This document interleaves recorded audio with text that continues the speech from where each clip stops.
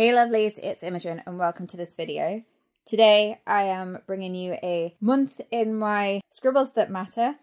So first of all, I really like the paper. I like the idea. I love that it's B6 and I did do a little video of unboxing this and I talked about the 120 gram paper, etc. I will have a video either going up just before or just after this one, which will have some swatching that I did in the back. And you'll have to bear with me a little bit because I'm still full of a head cold. So, Scribbles That Matter I've ha is had some incidents, let's say. Uh, first of all, I wasn't particularly impressed with this. It has got a little bit damaged there from literally just being used slash on a table. I'm not sure what this bump is here either. So it does have a little bit of wear. I'm only a month in and it hasn't even been like in my bag or outside or taken anywhere. The back is more worse for wear than the front. It has these scuff marks. Um, and the faux leather is quite damaged. There was glue here, but this has happened where it's actually ripped the book and you can, if I undo the, the elastic and pull backwards, you can actually properly see inside the book.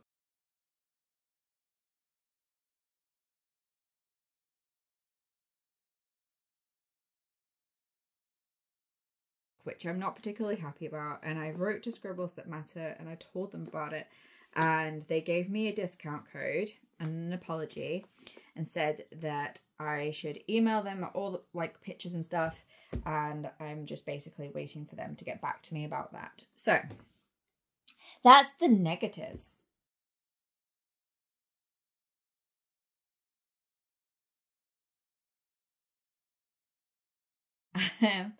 Overall, I have loved this. I did add my little black and white clownfish that I got when we went on my anniversary date with my partner. And I've featured him on my Instagram quite a fair bit.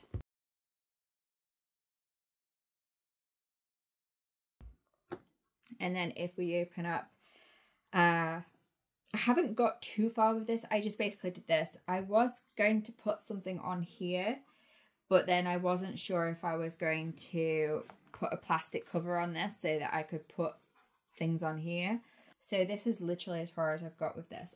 I basically took this frame, I cut it out on my Cricut, I then cut the, because there was a skeleton dude on the inside, I cut him out of it. I then edited and printed out this photo of me, stuck that in there. When the stamp set came with the little banner, I stamped that there and I wrote my name in it. I didn't do too well writing my name in it. I was trying to make it a little bit more central, but I like it as far as first pages go. And then we turn over and I have got this. Now what this is going to be is it's going to be a key. So no matter where I am inside my book, I can see my key. And that's my plan. And then I've just got this little guy in the post and I'm going to do a, a die cut of like this a little white skeleton in there. But I die cut this and I made this and then I stamped white on top of it. It is, as I said before, the B6 120 GSM. If we turn this, we have my index, which actually needs updating. Then we have a couple of pages of that. Then I have this, which I've just uh, used some clear sticky notes to cover over the private parts but I just went crazy with stamping and stamped a whole bunch of different stamp sets. And then I used two different label makers, the Brother and the Dymo. And yeah, it's just a few words or pictures that I feel represent me or I wanted to represent me this year.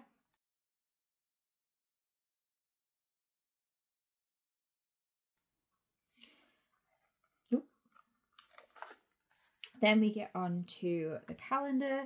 So the calendar stamping didn't work out too well and I did end up stamping these little cup images onto card, cutting them out and then using my Xyron to make them into stickers. So we just have um, important dates this year and room to add more. So I didn't really show you the cups. So So there's this sort of spiderwebby one with the ghost, and then the snow whitish one, and then this sort of Hedwig one, and this brainy one, zombie brains. And over here we have Sugar and Scream, uh, whatever this is. And there's a bat one with a little pumpkin, and then like a sort of a, a glass pitcher one with a little stirry cocktail stick. Then there's this cat one, a ghost one, this one that's got like the mushrooms on the cup, and then the one that was Jack Skeleton, so I figured that made most sense for December. And then I have got a future me problems, and I am no good at calligraphy. That's supposed to be an F, but I don't think it is. It's like a capital C. Maybe one day she'll get there. And then there's another one there, and there was one, I don't know if you spied it. There was one here, the Witch's Brew one I did on this page as well. Then I left a whole bunch of blanks because I wanted to do some trackers and some year at a glance and some photos and some memory stuff. And so I just kind of left a whole chunk of blank so that we could add stuff. I didn't realise I left so much blank. A lot of blank. This is way more blank than I thought I'd done. Okay, so I have a January title page. This is it. This is just January title page. I wrote it on a, I'll even get up. I wrote it on a clear sticky note and I stuck it there to do remind me that that's where January started. And then I just never did a title page, but I kind of like it being like just like that. Okay, so I tried a couple of different layouts. So first of all, I tried doing like a downward layout. Then I tried doing, this is the most popular layout that I do where I have typically my week here. Make, like, I actually did it on two, but normally I just have the week here and then notes and trackers. And then same again, but instead of having these long ones, I did little boxes for Saturday and Sunday. And then this week, I did a similar thing, but I did the whole week on the side. Then I did the last three days of January on this side. And I also did some stamping. And I don't know, I liked it, I didn't like it. It is what it is, but that's this week. And then I created this, and I've just literally finished filming and then realized that I didn't press record on this. So there is no filming of me doing this, and I was so proud of my little clownfish drawings. Um, and February, I think I did a little bit better writing February out, but by no means am I any kind of expert at all. I don't really know what I'm doing, I'm just trying. But I liked how it looked, and I love my little clownfish, so that's all that matters there. And then I have done the the rest of this week, um, which is the first, the beginning of February. So I've just done the Thursday, Friday, Saturday, Sunday to do notes and shopping, and that is literally a month in. Uh, I did forget to mention that I distressed all the edges of my book. So when you actually look at the uh, page edges, oh, this is also torn by the way. When you look at the page edges, it's black. And I quite like how that looks. And then I created this little measuring guide for marking out on the grid because my book didn't come with one. And then I just folded this so that stays in there because it's a little bit too big to go in the pocket, but I didn't want it to just be floating around inside my book. And then as I, as you would have seen in the previous or the next video, whichever one it, whichever way around it goes, I did do some swatching of some inks. And this is where I tore out that bit for the bookmark. So I just use that as a little tab to write on.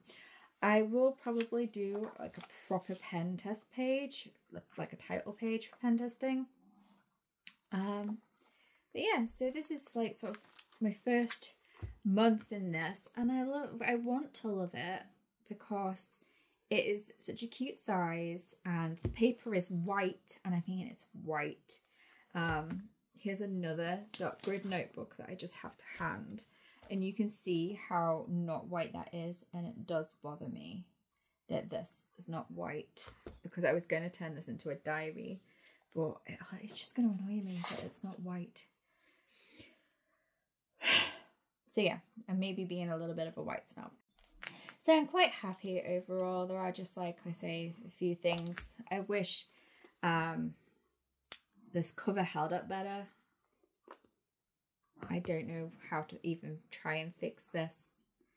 It is what it is, and I don't know if it's going to last for the whole year as I'd hoped or what is going to happen.